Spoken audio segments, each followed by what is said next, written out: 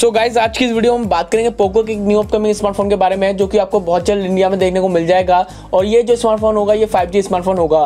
दोस्तों, पिछले साल आपको पोको M2 Pro स्मार्टफ़ोन देखने को मिला था, जिसका successor variant Poco M3 Pro होगा, जिसके बारे में आज की इस वीडियो में हम बात करने वाले हैं। दोस्तों, आज की इस वीडियो में हम इसके फुल स्पेसिफिकेशन के बारे में बात करने वाले हैं। साथ ही हम आपको बताएँगे ये इंडिया में कब तक लॉन्च हो जाएगा, या फिर इसकी क्या प्राइस रहने वाला है। दोस्तों, अगर आप भी एक न्यू स्मार्टफ़ोन परचेज करना चाहते हैं, या फिर आप एक फाइव स्मार्टफ़ोन परचेज करना चाहते हैं, आपका बजट कम है तो ये वीडियो आपके लिए हो सकती है। तो बन रही है आज के हमारे इस वीडियो में। चलिए फिर ना टाइम वीडियो को स्टार्ट करते हैं। वही दोस्तों, अगर हम इसके डिज़ाइन की बात करें तो आप अपनी स्क्रीन पर देख सकते हैं कुछ इस टाइप का इसका बैक डिज़ाइन है, जो कि आपको पोको M3 में भी देखने को मिला है, जो कि काफ़ी ज़्यादा यूनिक एंड अट्रैक्टिव लग रहा है। दोस्तों, वहीं अगर हम इसके डिस्प्ले की बात करें तो यहाँ पर आपको 6.5 इंच का full H D plus I display देखने को मिलेगा, जिसका ऑस्पेक्ट रेशियो आपको 20 रेशियो 9 देखने को मिल जाएगा।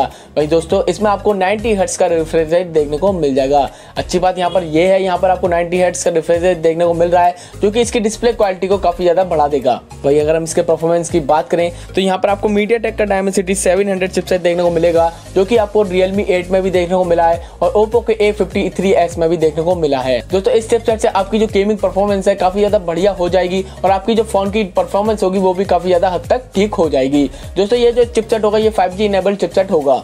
वही दोस्तों, अगर हम इसके स्टोरेज वेरिएंट की बात करें तो यहाँ पर आपको six G RAM and four G RAM का ऑप्शन देखने को मिल जाएगा।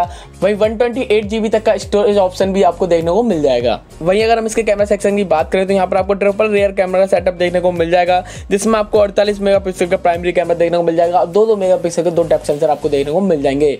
दोस्तों, अगर यहाँ पर आपको एक अल्ट्रा वाइड एंगल कैमरा देखने को मिल जाता, आठ मेगा का या बारह मेगा का तो कैमरा वाइज क्वालिटी और बढ़िया हो जाती। वही यहाँ पर आपको फ्रंट में आठ मेगा का कैमरा देखने को मिल जाएगा। ओवरऑल कैमरा सेटअप की बात करें तो यहाँ पर आपको ठीक ठाक कैमरा देखने को मिल रहा है।